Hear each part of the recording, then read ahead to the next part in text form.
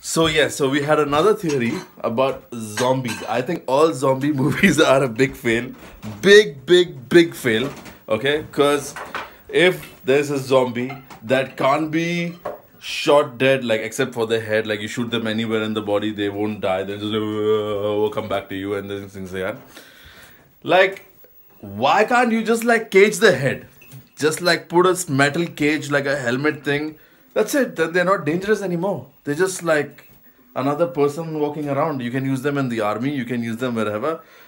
Just like there are like so many movies where like the wife gets bitten by a zombie and then uh, she's almost going to turn into a zombie and then either she's supposed to be like thrown away or um, uh, or then what and then she becomes a zombie and then she starts attacking the husband so in that phase, why can't they just put like a steel helmet on her head and end the story? Like, you know, and then she can live happily with the husband uh, till the cure comes. Yeah.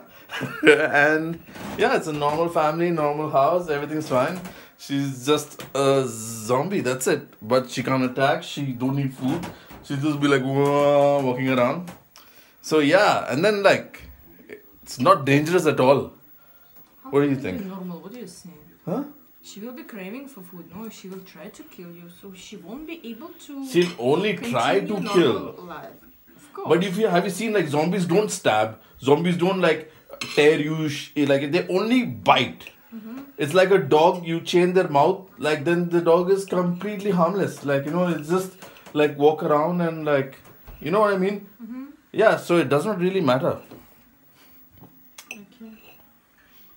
We should check. We should try this.